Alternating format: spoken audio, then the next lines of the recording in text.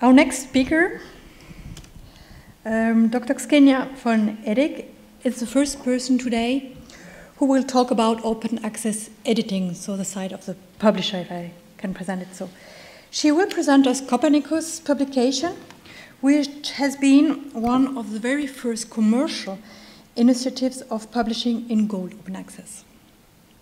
Operational since 2001 and currently publishing 32 titles in different subject areas, Copernicus attaches high importance to the peer reviewing process. We already mentioned this point, as well as to the transparency of it. How does it work? What are the benefits for the authors and for the dissemination of research results? Mrs. van Edig, you are in charge of business development at Copernicus. We are all ears. Thank you very much.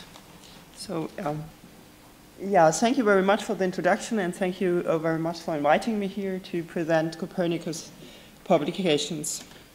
Um, so the title of my presentation today is Innovative Open Access Publishing and Public Peer Review. Um, to provide you with a short overview on what I'm going to talk about, I also will first give a really uh, short overview on open access publishing. Um, then I provide some insights about Copernicus, about the company, and uh, I want to um, especially emphasize on the multiple open access strategy and with particular focus on the peer review process. Um, so what is Gold OA? I think everybody knows, but only to, summarize it really short again. Um, green open access is, like we heard before, the free access to postprints and preprints. Gold OA, in contrast, provides the free access to the article source, so to say to the journal. Um, it includes the costs of financing the publication um, of the peer review process, of the uh, open access publication, as well as the archiving. So a recent investigation of uh, Laakso and Björk uh, published in uh, BMC, so Biomed Central Medicine, um, found that 17% of the uh, Scopus, uh, of the articles indexed in Scopus in 2011 was already OA, but they include uh, also delayed open access where the full journal uh, were open access after, I think they had one year as a benchmark. So what about the financing of open uh, access? Um, of course, we have the author pay model. Here we can differ differentiate between page charges and article charges. Uh, Copernicus, for example, charge per page because we say there is a big difference between a long review article and the cost what it causes for, for, for, for producing this article and a short technical note. So that's what, the reason why we say, okay, page uh, charges. But there are other, also, uh, other publishers, or a lot of other publishers, uh, for example, like PLOS, um, they charge on an article level. There are also the differentiation in submission uh, versus publication charges, um, why we think, okay, uh, one only should pay for the, for the published version of the article. Uh, one word again to the author charges, it always sounds like the author himself, herself, has to pay these charges, but often it's, like we heard before, included in the grants. It is um, often there are uh, funds available at the libraries. For example, in Germany, the uh, DFG, the major fund, uh, funder of uh, yeah, uh, basic research, um, they introduced, together with uh, a whole range of universities, um, publications funds at libraries, where also of the, authors of these institutions can come to the library and get a refund for the open access charges.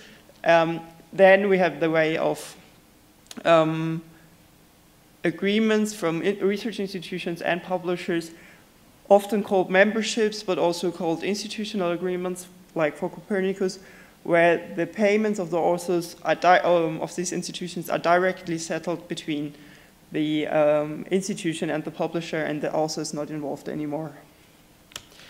Um, then it was already mentioned there's a hybrid model, uh, which is basically um, open access option in uh, subscription journals, but it always is a question whether these um, yeah, these models face like double dipping um, yeah, just I, I mentioned only Springer as one example. Of course, there are many others.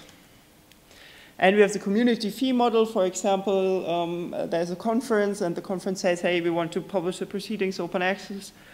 Um, and then you have the, the, the cost of open access publishing integrated in the registration fee of the conference, just as an example. And of course, then we have the institutional ownership model. This is the so-called platinum way of open access, where it's at no cost for the authors and at no costs for the reader. Um, in like studies from around 2006, 2007, there were several, uh, several studies found that about 70% of the OA journals at that time were fully funded. But recent investigations from the earlier cited study show that the amount of journals here in this light blue, uh, which publish uh, open access articles and um, um, obtain article processing charges is really increasing and really make a bigger share out of the whole open access articles. So um, now I want to present you something about Copernicus. Uh, Copernicus was founded in 1988 as a spin-off of the Max Planck Institute for Solar System Research. Um, at the first business was the organization of scientific conferences, and we're still doing that. So we have two business parts, one the publishing, and the other one uh, the profession professional congress organization. In mid-90s, we started um, as a subscription publisher, but in 2001, um, I think as a second commercial publisher, we uh, opened up for uh, open access, and we started our first open access journal in 2001. Um, and followed, uh, we moved all other titles we had at that time into open access. So by 2004, I think uh, all our journals were converted to open access. So like it was mentioned before, um, we are currently publishing uh, 32 peer-reviewed open access journals um, in different subject area, but we have a focus on geoscience and environmental sciences, but also engineering, and we broaden up our portfolio. Uh, in addition, we have 15 access review discussion forums, uh, which I come to back, uh, I come to explain a bit later. We're currently about 50 staff members in our offices in Göttingen. We are a co-founder of the OASPA, which is the trade organization of uh, scholarly open access publishers, uh, but we're also a member of uh, STM, which is the biggest publisher organization in the STM field. And uh, we're also a member of ORCID, an organization which, um, which deals with the disambig disambiguation of authors uh, in, with regard to names. So in 2012, we uh, almost published 137,000 pages uh, in about uh, 5,300 um, articles. We had uh, submissions from over uh, 70 countries, um, about 1,500 editors, so all, all stages were involved in the publication of our journals. And like I said, we had uh, together uh, 47 journals and discussion forums.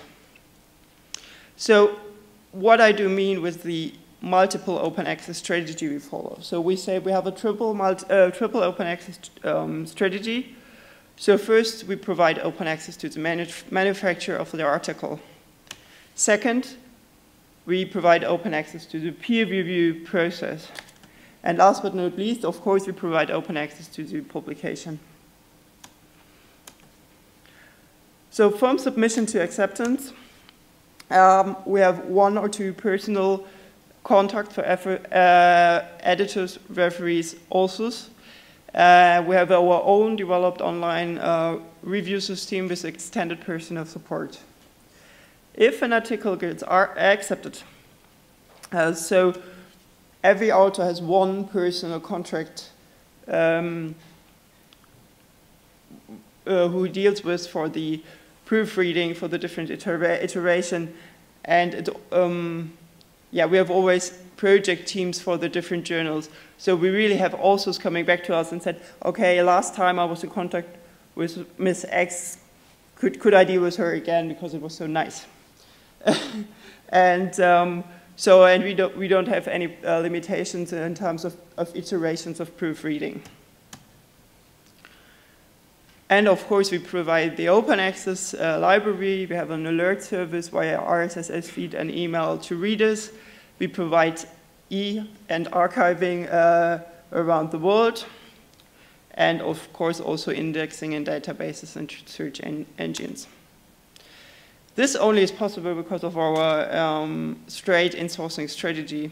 So we really provide all publishing services in-house uh, the software development, the typesetting, the English language copy editing, the editorial support, um, because we really want to listen to the scientific communities and really want to um, yeah, provide maximum service for authors and for the works, but of course also for, for editors and referees.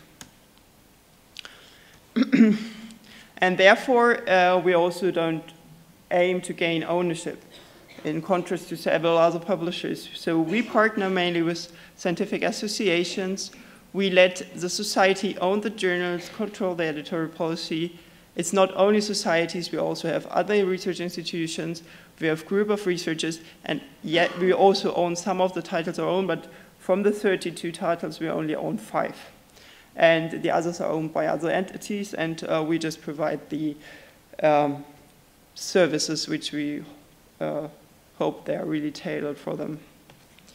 Um, so what we recommend when we um, start the journal is not to introduce article processing charts right from the beginning because a journal needs to develop until it has a reputation that authors or institutions are willing to pay for it.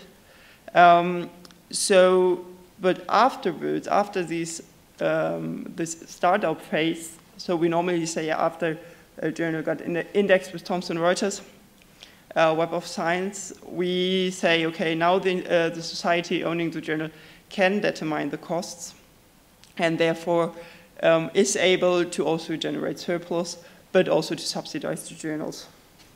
So the business is run by Copernicus, but the societies can earn a license fee and the whole scientific um, content acquirement, and so it's left to the scientists. Here are some examples of societies and organizations we are working with. So now um, coming to the main part, uh, as I said before, to the open access to the review process. Open access, we think, has the, uh, the, the, the, really um, fundamental um, potential to enhance quality by the submitted manuscript can be OA. The review reports can be open access. The manuscript can be discussed open access. And of course, accepted publication can be open access. So therefore, we have something which is optional, so the, the journals don't have to do it, but they can do it. Uh, but they have to decide whether they want to be an interactive journal or not. And uh, currently, we have 15 interactive journals, so approximately, approximately half of our journals are interactive. And it works like this, that the author submits uh, the manuscript, then uh, it is followed by a brief um, access review by uh, the editor, and the editor also nominates uh, referees during this phase. He can ask also for technical corrections, and of course, he also can reject the manuscript at this stage if it doesn't fit the, the scope of the journal. Um, but if it is accepted, it is published as a discussion paper uh, in an online forum. The referees need to post the comments they have on the manuscript openly accessible into this forum. Also, the scientific community is invited to join the discussion and to really enhance the quality of the submitted manuscript. Um, the author has to openly, or the authors have to openly answer the, question, uh, the, the, the, the comments of the reviewers in this forum. And this is what we call the first stage in this discussion forum. In the second stage, there also does uh, the revisions, uh, submitted again to the editor.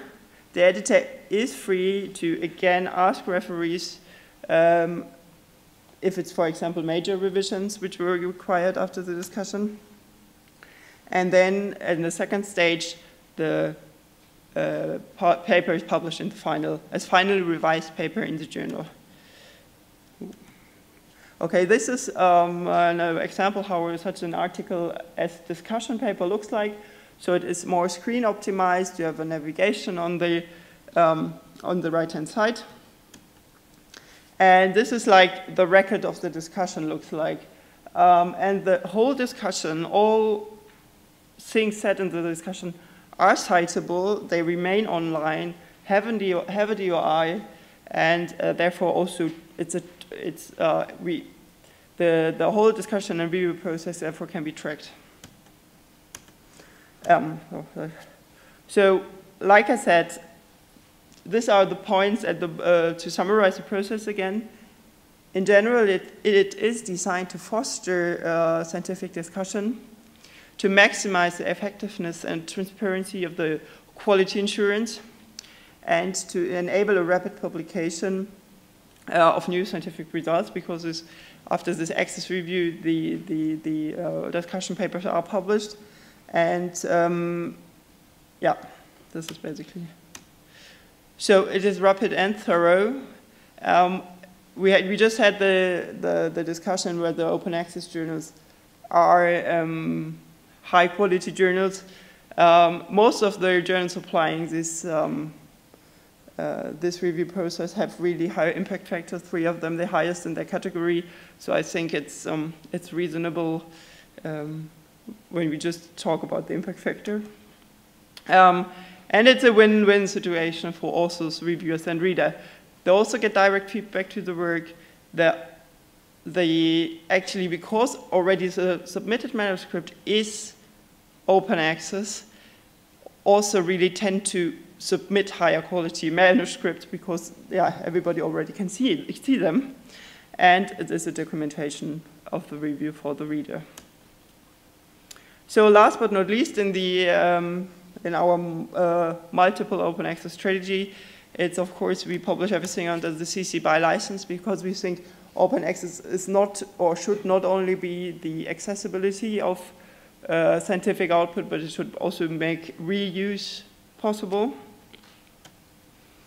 Um, like I said before, we are caring about archiving, so we're uh, cooperating with the e-archive, Portico, and CLOCKSS.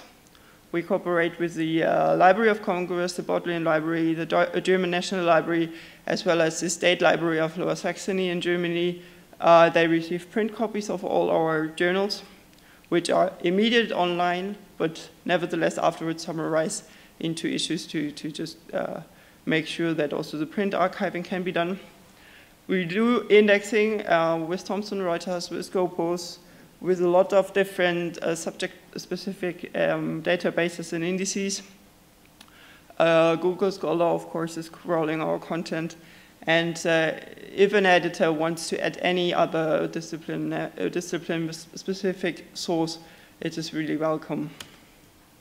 So um, now I also want to, like, with the end, um, to come to a recent development, uh, which is providing article level metrics. This again refers to, okay, the measurement of scientific impact not only by, via the impact factor on the journal level, but also um, on an article level. Uh, so we provide figures on usage, on the impact in terms of citations. At the moment, we display Crossref citations, but soon we will also display uh, Scopus citations. Uh, we display different um, uh, bookmarking services as Mendeley, and also discussion on um, social media. yeah, and this uh, our article level metrics are based on the API provided by the Public Library of Science, and uh, maybe we will also hear some some more details about it later on. So with this, I want to end my presentation and thank you very much for your attention.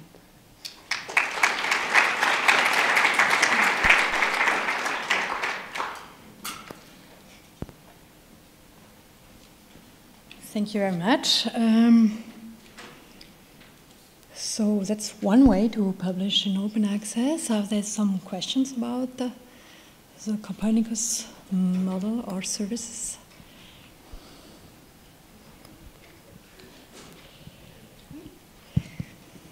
Okay, uh, thank you for, for this talk first. I had uh, one question. So you mentioned that uh, so societies can own the, the journals that you publish, uh, which is an interesting development in my from, from my point of view, because we've seen many journals originally published by scholarly societies who have been absorbed by uh, large publishers, large commercial editor uh, publishers in the, in the past years. Uh, so first of all, how many uh, of those 32 journals uh, that you have right now are owned by uh, such societies? And do you expect more societies to, uh, to join you in the near future to, to create uh, new journals, uh, let's say more, more grassroots journals in a way? Um, yeah, yes, thank you. So for the first part of the question, it's uh, 27 journals uh, are owned by societies. So um, we, or by societies or on, on and other like non-profit organizations with a scientific background. So for example, we have one engineering organization, they also do a lot of um, work with industry, but they have their scientific part and for example. So it's 27. And yes, I think we will uh, partner with more associations in future. Um, of course, transforming existing journals into open access where a large part parts of the uh, society's revenues, depending on, is always difficult because of the transition phase and how to get it. Because, like I said, it is possible to generate income also for societies with open access. Because, as I said, we have a like a fee per page, uh, which we charge the author at the beginning to the society. Um, but the society can determine whether we should charge more to the author and then the difference they get a license, license fee. Um, so this is basically the, the business model for, for the societies behind that. But it is, um, yeah, if the journals are really, really big, it is always a problem. Um, or we already had some discussion with societies where they just faced the problem that they think they can't finance the transition afterwards it's okay again, but um, or they were afraid of. I think it, it would have been possible, but nevertheless, I think there will more societies come and join us. Yeah.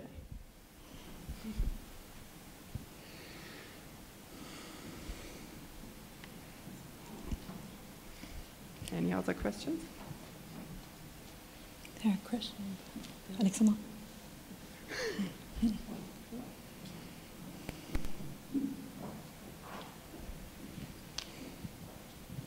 How many of uh, your journals uh, have chosen the open uh, review process?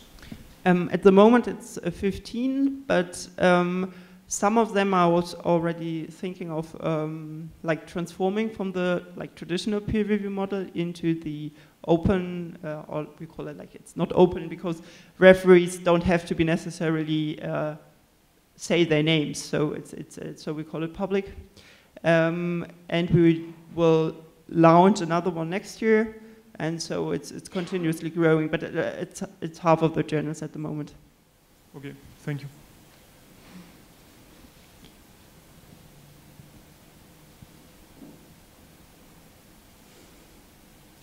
No question anymore? Thank you. Thank you very much.